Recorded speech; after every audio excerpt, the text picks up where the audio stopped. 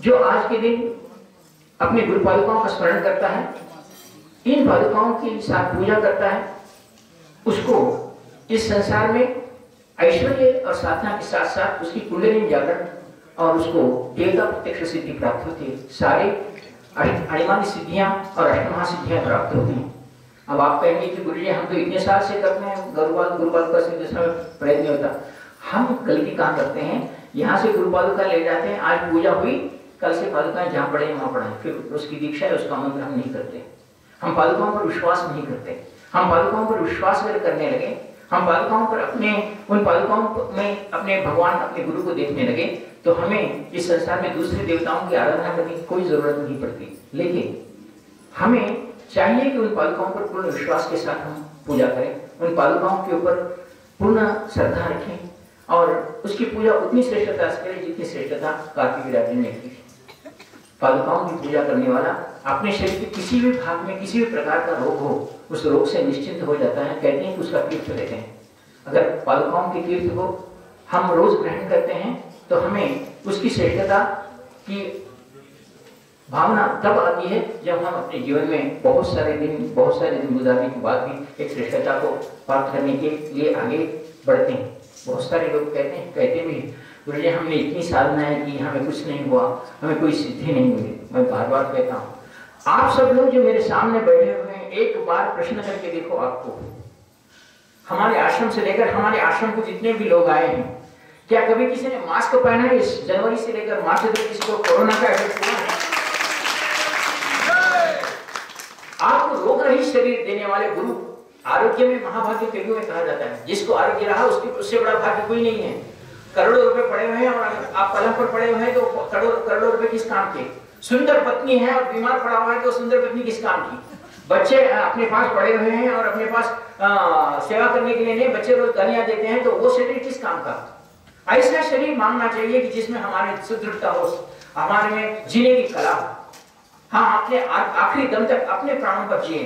कोई हमारी सेवा नहीं, हम किसी की सेवा कर सके, हम किसी का कल्याण कर सके, ऐसा जीवन चाहिए। और कहो, आप सब लोग जो मेरे पास बैठे हुए हैं, जो गुरु मंत्र जब करते हैं कि किसको कोरोना का इफ़ेक्ट हुआ, या इससे बड़ा तुम्हारा भाग्य तुम्हारे करोड़ों रुपए से भी ज़्यादा है। अगर नहीं है तो ये बात कहो, आपके जीवन में ऐसा हुआ क्या? और हुआ है, तुम्हारे पीछे गुरु खड़ा हुआ है। तुम्हें मरने नहीं दिया। तुम्हें उसका इफ़ेक्ट होने नहीं दिया। आप अगर सच्चे दिल से गुरु को प्रार्थना करते हैं, लेकिन कभी एक छोटी सी भी आपकी इच्छा नहीं, मेरे बेटे की शादी नहीं हो रही गुरु बहुत दिन से आपके पास घूम रहा हूँ।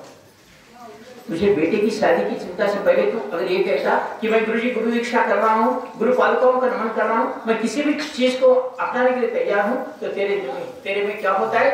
केवल बेटे की शादी नहीं होने के कारण तू गुरु से दूर होते जा रहा पैसे घर बनना नहीं हुआ तो गुरु से दूर होते जा रहा यह क्रिया नहीं है।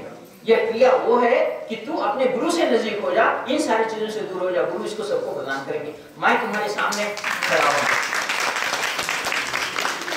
मेरे पिताजी कोई बड़े करोड़पति नहीं, एक मास्टर थे, एक गरीब छोटे से गाँव से निकला हुआ कितनी बार में छोटी सी नौकरी करके हुए गया। लेकिन जब से मैंने गुरु चरण पकड़े हैं, और आज 93 से इस गुरुपद का सिद्धि दिवस करता हूँ, मैं पहला गुरुपाल का सिद्धि डिसीज़न किया था। मेरे पास केवल दस लोग थे गुरुपाल का सिद्धि दिवस मनाने वाले। आज मैं का सिद्धि दिवस तीस साल से कर रहा हूँ। कोरोना की वजह से आज नहीं आया, अगर मैं अगर कहता तो आज भी हज़ारों की संख्या में लोग आते और मैं इतनी भी शान से कह सकता हूँ कि बहुत सारे लोग, गुरु जी वहाँ से नहीं आ सकते हैं, लेकिन हम आज आपको गुरुपाल का सिद्धि दिवस हम हमारे घर में दस लोग, पंद्रह लोग मना रहे हर जगह से मेरे पास पोस्ट आ रहे हैं आज। यह क्रिया है कि गुरु के प्रति उनकी निष्ठा है कि हम यहाँ नहीं आ सके, फिर भी हम गुरु पालकाओं का पूजन कर रहे हैं। हर जगह से मेरे को आज ये आ रहे हैं कि प्रभु, आपने जो मार्ग बताया, हम उस मार्ग पर चल रहे मैं चाहता हूँ कि तुम आरोग्यवान रहे, तुम्हारे में इतनी क्षमता हो कि जंगल में भी तुम जी सके और तुम्हारे साथ दस लोगों को जीने की क्रिया कर सके। तुम्हारे को ऐसा आरोग्य प्रदान करे, ऐसी गुरु से प्रार्थना करता हूँ। आप श्रेष्ठ जीवन जिए। मैं अब यही कह रहा था कि जैसे कार्तिक को जो सुदर्शन रूप के अवतार थे, उनको गर्व हो गया था कि मैं मेरे सिवा विष्णु भगवान जीत नहीं सकते। तो कार्तिक जाने के बाद जो विष्णु के अंश परशुराम कहलाए जाते थे, परशुराम के रूप में जब आए तो उन्होंने सुदर्शन चक्र को हाथ में नहीं लिया, परशु को हाथ में लेकर मारा सभी को। कार्तिक के साथ, सारे क्षत्रियों को मारा तो अपने हाथ में परशु को लेकर सुदर्शन चक्र को नहीं। जब कार्तिक मर गया, फिर वैकुंठ को गया तो परशुराम जी ले हाथ लेने, हाथ में सुदर्शन चक्र लेने के लिए तैयार नहीं। परशुराम के बाद एकदम राम अवतार हुआ परशुराम चिरंजीवी थे, और राम उसके बाद ही अवतार हुए। राम अवतार हुए तो सुदर्शन चक्र गया तो विष्णु वहाँ नहीं है। वो तो ऑलरेडी राम के अवतार में पृथ्वी पर आ गए थे परशुराम से राम बनकर। और राम बनकर जब आए, तभी भी उन्होंने सुदर्शन चक्र नहीं लिया। उन्होंने हाथ में धनुष लिया। तब सुदर्शन चक्र को अपनी गलती का एहसास हुआ। बोले, प्रभु विष्णु हमारे से नाराज़ है और वो मेरे को छोड़कर जा रहे हैं। वो किसी को भी जीत सकते हैं। प्रभु ने मुझे अवॉइड कर दिया, मुझे मुझे छोड़ दिया है। मैं अब उनसे प्रार्थना करूँ। और सुदर्शन चक्र आकर प्रभु रामचंद्र जी के चरणों में प्रार्थना करने लगा कि प्रभु, मुझे स्वीकार करो। उन्होंने श्री कृष्ण के अवतार में सुदर्शन चक्र को धरा, ये बात का अवतार हुआ तो ऐसा गुरु के सामने कभी गर्व करने का बात मत करो, कभी घमंड की बात नहीं करो कि तुम मेरे मेरे सिवा जी नहीं सकते। गुरु तो जीता है, तुम्हारे बिना भी जी सकता है। गुरु को जीने की कला आती है, तभी गुरु बनता है। जिसको गुरु पादुका की सिद्धि हुई, केवल वही अपने पादुकाएँ दूसरों को दे सकता है। जिसको गुरु पादुका देने का अधिकार सभी को नहीं है। अपने पादुकाओं को देके पूजा करो बोलेगा। नहीं तो गुरु की शक्ति आगे चली जाती है शिष्य को। जिसको गुरु पादुका की सिद्धि है, जो गुरु पादुका सिद्धि कर सकता है, वही पादुका देने का अधिकारी होता है। पादुका का मंत्र करने वाला, अपने गुरु चरणों में रहने वाला और गुरु से, अपने दिल से पादुकाओं को लेने वाला। गुरु जी तुम तुम्हारे मैं गुरु जी के चरणों में, पानीपत में 1993-94 में गुरु जी के पास यही पादुकाएँ लेकर गया था गुरु चरणों में समर्पित करूँ। उस दिन गुरु पूर्णिमा थी। हम बैठे थे तो गुरु जी ने पादुकाएं देखी हाथ में पहने और कुछ मंत्र उन्होंने किए और कहा कि जोशी ये पादुकाएं तुझे दे रहा हूं और आने वाला कल ये तेरे धरोहर पे ఇది నీ ఆస్తి జోషి ఇదే నీ ఆస్తి ఇది నీ ఆస్తి నీకు తీసుకొని నేను ఈ పాదకాలు నీకు ఇస్తున్నాను అని చెప్పినారు ఆ ఆస్తి మీదనే ఇరవై ఇంత ఆస్తి సంపాదించినాను మీరందరూ ఆస్తి కనుక మనము గురు ద్వారా నేనైతే అసలు ఆయన ఇవ్వడానికి వెళ్ళినాను కానీ ఆయన అది ఇచ్చి చెప్పినారు కదా వచ్చే తరం చెప్పుకుంటుంది. నువ్వు ఈ పాలకలు నీ దగ్గర పెట్టుకొని వచ్చే తరానికి ఉపయోగపడదు అని చెప్పిన తర్వాత ఈ పాలకలు తీసుకొని ఈ రోజు వరకు ముప్పై ఏడు ఈ రెండు వేల ఇరవై మూడు వస్తే ముప్పై ఏడు అయింది నేను పాలకలను పూజిస్తూ పాలకా సిద్ధి దివస్ చేస్తూ. గురు పూర్ణిమకు ఎంత శ్రేష్టత ఇస్తానో అంతే శ్రేష్టత గురు పాలకలు కూడా చేస్తాను. కనుక ఈ రోజు యొక్క ఈ శ్రేష్టతను మీ దృష్టిలో పెట్టుకొని గురు పాలకలను కనుక మీరు పూజించినట్లయితే మీరు ఈ జీవితంలో గురు పాత్రలై మీరు చేసిన ఎన్ని పాపాలున్నా ఎన్ని రోగాలున్నా మీ దగ్గర వచ్చిపోయే రోగాలు ఉంటే వస్తాయేమో కానీ రోగాలు ఉండే రోగాలు అయితే రావు రాకూడదు అనే ప్రార్థిస్తున్నాను చిరస్థాయిగా ఉండే రోగాలు ఏది రాకూడదు. ఎలాంటి రోగాలు వచ్చినా వచ్చిపోయే రోగాలు లేదు జ్వరం వచ్చి జ్వరం వచ్చిపోయే రోగాలు ఎన్నో ఉన్నాయి. అట్లా రావడంలో తప్పలేదు కానీ చిరస్థాయిగా ఉండే రోగాలు రాకుండా ఉండడమే గురు ప్రభుత్వ శ్రేష్టత. మన కర్మ అనుసరించి ఫలితాన్ని ఇవ్వబడుతుంది కానీ మనం కోరిన కోరికలను గురువు తెలుసు ఏమి ఇవ్వాలో ఏం ఇవ్వకూడదు. జీవితంలో ఏం చేయాలో ఏం చేయకూడదు తెలుసు? మనకు సరి అయిన శరీరం ఇవ్వగలిగితే పది మందికి మనం ఉపయోగపడే శరీరాన్ని ఇవ్వగలిగితే దానికంటే మహద్భాగ్యం లేదు. మనసాన పడి మనం కోటి రూపాయలు సంపాదించినా ఎన్ని పెళ్ళిళ్ళు చేసుకున్నా పది మంది భార్యలున్నా మంచం మీద పడి ఉంటే ఏమి రాదు. సేమ్ అదే విధంగా అలెగ్జాండర్ అంటాడు పూర్తి సంసారాన్ని గెలిచిన ఆయన. గెలిచేసి పోతుంటే వాళ్ళ దగ్గర వెయ్యి భార్యలు. వాడు అనారోగ్యమై బాబిలోనియాలో పడి ఉన్నాడు.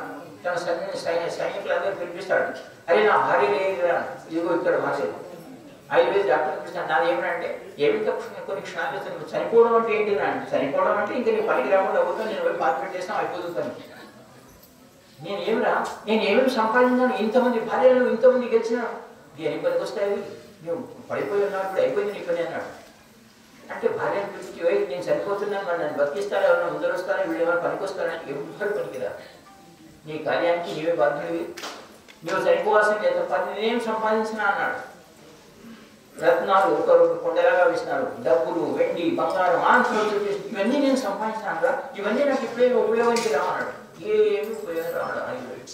పోయి నీ తలకాయ తీసేస్తాను అన్నాడు ఆయుర్వేదికుడు డాక్టర్ నువ్వు ఇవన్నీ తీసుకో నన్ను బతికించన్నాడు ఇవన్నీ తీసుకొని కాదు కదా నీ భార్య ఇచ్చిన నేను బతికి బతికించలేను నాతో చేరడానికి పని నువ్వు చావడం ఖాయం అన్నాడు కనుక నేను ఎందుకు సంపాదించినా? అంటే అదే నీ మూర్ఖత్వం అన్నాడు.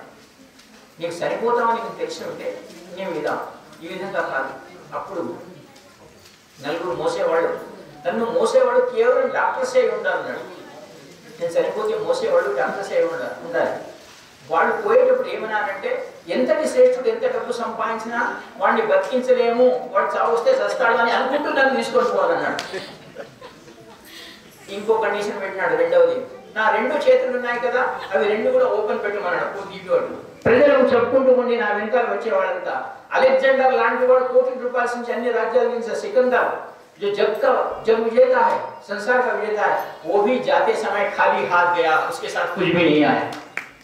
तो इसलिए నేను ఇంత సంపాదించి కూడా ఒట్టి చేతులతోటే పోయినాను అప్పుడు ఆయన గురువుగా భావించి అర్పణిస్తున్నాడు ఆయన అన్నాడు నీకు వద్దు అంటే చెప్పకుండా విశ్వ విజేత అయితే అయితా అని ఇంత ఇంత దూరం వచ్చినావు ఇప్పుడు చచ్చిపోయే పరిస్థితిలో కూడా నీకు ఇంత కూడా బుద్ధి రావడం లేదంటే నువ్వు గురువుగా ఇదే మాట చెప్తుంటే ఈ విశ్వ విజేత కోసం పోయేవాడిని కదా శరీరాన్ని కాపాడుకొని ఏ విధంగా అయితే చాణక్యుడికి చంద్రగుప్తుడు గురువు అయి అతని చివరి వరకు కాపాడినాడు అతని గురువుగా ఉన్నాడు. ఆ గురువు పంథాన్ని నాకు చెప్పలేదు అంటాడు అలెగ్జాండర్ అప్పుడు అర్థమేసి అంటాడు అందుకని నేను హిందూ దేశాన్ని చనిపోయి అక్కడి నుంచి నీకు తిరిగి తీసుకొచ్చింది. అందుకే నువ్వు ఎప్పుడు చెప్తే వినలే. నేను విశ్వాన్ని చేస్తాను చేస్తాను అనుకున్నావు. కానీ భారతదేశం నుంచి వెనుదిగినావు అప్పుడు నీకు బుద్ధి కలిగింది. ఆ బుద్ధి కలిగడంలో ఈ పాదుకా సేవల గురించి పాదుక చెప్తే ఈ పాదుకలు ఏవి ఇవ్వమంటే అలెగ్జాండర్ అర్థమేసి అంటాడు నాకు పాదుకా సిద్ధి లేదు చాణకుడు పాదలు కావాల్సింది తెలుసుకోండి ఇప్పుడు ఎక్కడ చాణకుడు చాణకుడు పాదుకలు లేవు దొరకకుండా అతను తన జీవితాన్ని సాధించినాడు. ఇది చివరి ఘట్టంలో అర్కమిడిస్ తన సూత్రంలో రాస్తాడు. ఆయన ఎంత బాధపడ్డాడు తాను చనిపోయేటప్పుడు అంటే నా రెండు ఇంత సంపాదించి చివరిగా నేను రెండు చేతులు ఉట్టి చేతులతోనే పోతున్నాను. కనుక సంపాదన అనేది గొప్పది కాదు. ఈ ప్రపంచంలో సంపాదన అనేది గొప్పది కాదు మనకు మన గురువు ముందు మనం ఎంత వాడమైనా చిన్నవాడు ఇదే చెప్పుకుంటూ నా సాంప్రదాయంలో దీని తర్వాత దత్తాత్రేయ సాంప్రదాయం తర్వాత నా సాంప్రదాయంలో పాల్గొని వచ్చాయి ఆ తర్వాత శంకరాచార్య భగవత్ శంకరాచార్యుల యొక్క పరంపరలో పాల్గొని వచ్చాయి మొదలు దత్తాత్రేయ పరంపర నా సాంప్రదాయం శంకరాచార్య పరంపరలో పాల్గొ జరిగింది. వీటన్నిటిలో కూడా ఈ గురుపాలక సిద్ధిదేశ యొక్క పూజ ఏదైతుందో ఇది శ్రేష్టంగా ప్రజల్లో ధర్మరాజుతో సహా ధర్మరాజు పన్నెండేళ్ళు పూర్తిగా బాధపడ్డ తర్వాత శ్రీకృష్ణ అడుగుతాడు కదా ఇంత వనవాసం అనుభవించిన శ్రీకృష్ణ. ఇంకా జీవితంలో కౌరవుని కూడా తీసేసిన నా నాన్న వాళ్ళందరూ పోయినారు. ఏ విధంగా అయితే పరశురాముడు బాధపడ్డాడు. ధర్మరాజు కూడా బాధపడి అంత నాకు ఇప్పుడు శాంతి లేదు. నాకు శాంతిని చూపించే మాటని చెప్పమంటే అప్పుడు కృష్ణుడు తన పాదుకలను చూపించి ఈ పాదుక పాదుక యొక్క దీక్షను ధర్మరాజుకి ఇస్తాడు ఆ కృష్ణ పాదుకల యొక్క దీక్ష ఈ రోజు వరకు ఎవరికి తిరిగి సాందీపని మహాముని తర్వాత శ్రీకృష్ణ ధర్మరాజుకు ఈ పాదుకల దీక్షను చెప్పి పాదుకా పూజను ఏ విధంగా చేయాలని చెప్పి తాను ఆ సిద్ధిని ధర్మరాజు వాళ్ళకు అశ్వమేధ యజ్ఞం ముందు చెప్పిస్తున్న చెప్పిన ఉదంతం ఉంది. కనుక శ్రీకృష్ణుడి తర్వాత ఈ పాదుక పరంపర వల్లభ సాంప్రదాయంలో వచ్చింది. పాదుకలను పూజించే విధానం. ఆ తర్వాత పాదుక పూజలు తర్వాత వస్తున్నాయి కనుక ఈ పాదుక సిద్ధి చేసేటప్పుడు మొదలు వాడు సిద్ధిగా పాదుక యొక్క సిద్ధి గలవాడు అయితేనే తన పాదుకలను ఇతనికి ఇచ్చి ఆ పూజను ఆ పాదుకలను ఇంట్లో పెట్టడానికి అర్హుడుగా చెప్పబడతాడు मैं तेलुगु में थोड़ी देर थोड़ी देर के लिए इसलिए बोला हूँ कि तेलुगु के लोग भी बहुत हैं आप हिंदी वाले भी बहुत हैं हम गुरु पादुकाओं में अपनी जितनी निष्ठा रखते हैं आज के दिन गुरु पादुकाओं की जितनी निष्ठा के साथ पूजा करते हैं चार मानवों में चार वेद रखे हुए हैं। अगर हम उसकी पूजा के साथ, हम गुरु चरणों में अगर झुक जाते हैं तो और गुरु इच्छा पर अपने जीवन को डालते हैं तो गुरु पादुकाएँ आपके जीवन के अंतिम क्षण तक आपकी रक्षा करेगी और आपको ऐसी मौत कभी नहीं देगी जो चार लोगों के सामने सड़ते हुए मरे। ऐसे जीवन नहीं देगी जो तुम्हारे तुम्हारे लिए लोगों की, लोगों के साथ तुम सेवा कर सको, लोगों की सेवा तुम तुम्हारी, तुम लोगों की सेवा कर सको, तुम लोगों का कल्याण कर सको, लोग चार लोगों को तुम्हारे साथ आनंद प्रदान कर सको ऐसी जी, ऐसा जीवन गुरु पादुकाओं में है। आज गुरु पादुका का सिद्धि दिवस बहुत ही श्रेष्ठ कहा गया है। आज के दिन हम इस गुरु पादुकाओं की सिद्धि का पूजन अभी आरंभ करेंगे।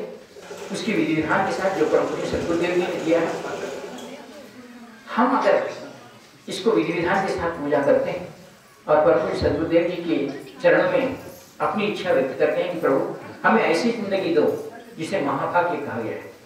जिस महाभाग्य को सौभाग्य से भी महाभाग्य बड़ा है। महाभाग्य में हमारे शरीर, हमारे कंट्रोल में।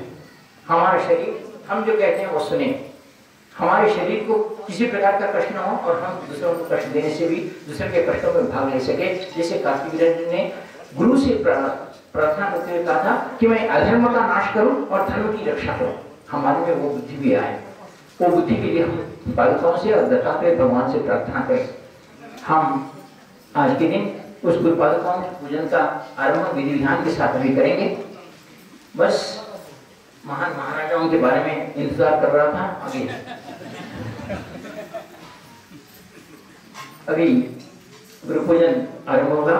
आप सभी लोग नहीं है तो भी मैं देता हूँ। सभी लोग 108 फूल अपने पास, कम से कम कुछ नहीं तो फूल अपने पास 108 रख लो।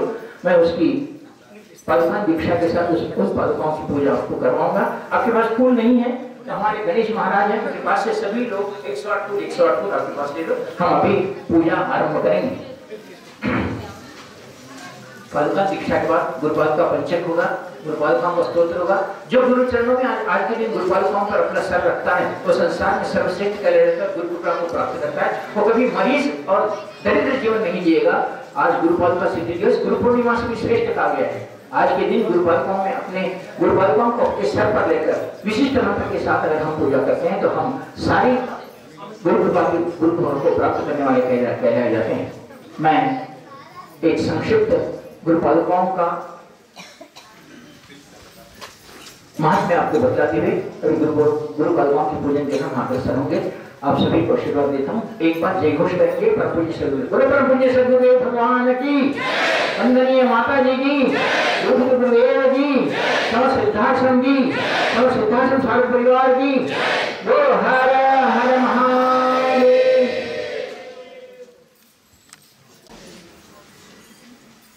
बोलो, गुरु ब्रह्मा, गुरु विष्णु गुरुदेव महेश्वरा, गुरु साक्षात पर ब्रह्म तस्मै श्री गुरवे नमः। गुरु स्वामी श्री सच्चिदानंद सद्गुरु प्रियम श्री निखिलेश्वरानंद स्वामी मम सद्गुरु। अपना बाएँ हाथ हृदय पर रखो राइट हैंड सर पे रखो मैं गुरु मंत्र बोल रहा हूँ। बोलो ओम परम तत्वाय नारायणाय। गुरुभ्यो नमः। ओम परम तत्वाय नारायणाय। गुरुभ्यो नमः। ओम परम तत्वाय नारायणाय। गुरुभ्यो नमः। ओम ह्रीं। मम प्राण, देह, रोम, प्रतिरोम, चैतन्य, जाग्रे, ह्रीं। ओम नमः। ओम गुरुदेवताय। विद्महे। परब्रह्माय धीमहि तन्नो सद्गुरु प्रचोदयात् आप सभी को देता हूँ, चार माला गुरु जब करें, उसके बाद ओम ह्रीम परम पुत्र धर्मा का एक माला जब करें, मैं तब तक सारी तैयारी करता हूँ। आप सभी को एक छोटा सा निवेदन है।